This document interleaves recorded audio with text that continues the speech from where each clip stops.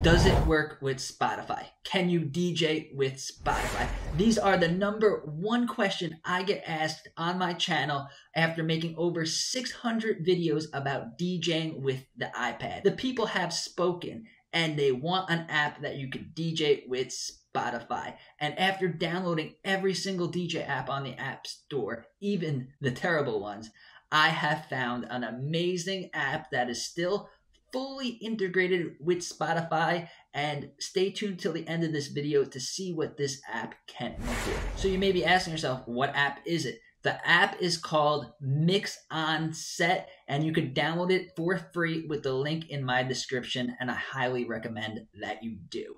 So let's check out this app and see if it's true. There is a free version that I highly recommend you guys downloading and checking out. You have nothing to lose, but the paid version has all of these amazing features. So here we are. Yes, your eyes are not deceiving you. Down there, there it says log in with Spotify Premium and also Apple Music. Well, I'll get to the Apple Music part in another video. Today we're talking about Spotify. Log in the Spotify and it's going to authorize and as long as you have a Spotify premium account, it is going to automatically log you in to your Spotify. Any playlist that you already have within the Spotify app will be there just like you were in the regular Spotify app. So here is our playlist. So we just select one of our playlists. So once you select the playlist that you want to start mixing, you are going to get some options up here. First one is Smart Mix. So it's going to use artificial intelligence to choose what song's next, what song, what type of transition they're going to do,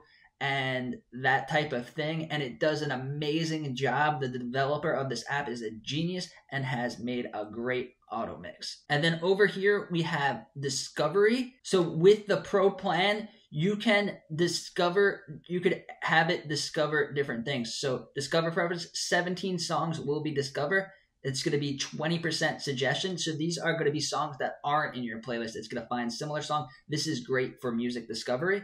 So you could go all the way up to 100%, 300%. Right now, I'm going to leave it at 20%. Apply discovery.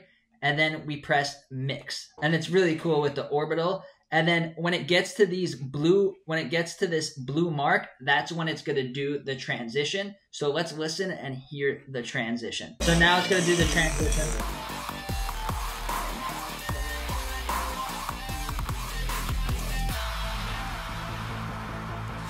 Swear to God, man, I'ma make it soon.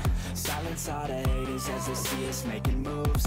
So the transitions are really good. It's just like if a DJ did it. No, you don't have DJ decks, you don't have mixers, you can't actually DJ from song to song. But I believe the future of DJing is going to be a little more hands-on and still going to take the skill to design these playlists and to and to prompt what you want the AI to do. Now we could switch to this vibe, so that's going to give us a mix similar to this vibe kind of feeling kind of mood we could save this song so if you're using this for music discovery you could save the song you could save mix as a playlist so if you heard a, a couple of good songs in the mix then you could save it we have mix control. We could choose different spots to mix. So from red to blue, we could change the energy and BPM. We could clear it. We could view album. We could add to playlist. So they really make it personal. And this is an amazing auto mix app. So if you want to DJ with Spotify in 2023, this is the only app that I have found after downloading every single DJ app. And there's a link down below, and you could try it out for completely free. You have nothing to lose. Definitely try it out, and thanks for watching.